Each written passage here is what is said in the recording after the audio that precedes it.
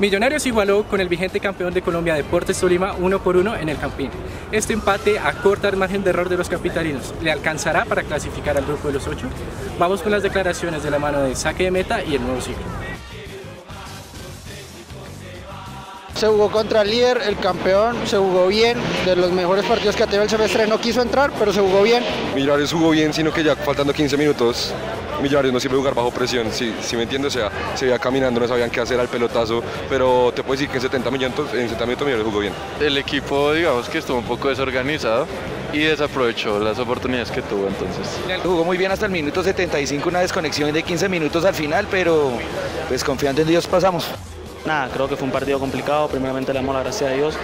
Sabíamos que iba a ser un partido así, en el cual eh, un, venía un equipo que se venía a defender y venía pues a buscar un, una oportunidad y pues se lo encontraron. Triste, pienso que hoy es un partido que teníamos todo para ganar, eh, dominamos, tuvimos opciones muy claras. Pienso que ha sido de los mejores partidos que hemos jugado en el año, donde se vio un buen fútbol y pudimos tener un resultado más favorable, pero pues hay que seguir, sabemos que esta es la única manera que, que podemos ganar y, y, atraer al público jugando bien al fútbol y, y pienso de que en esta noche lo mostramos.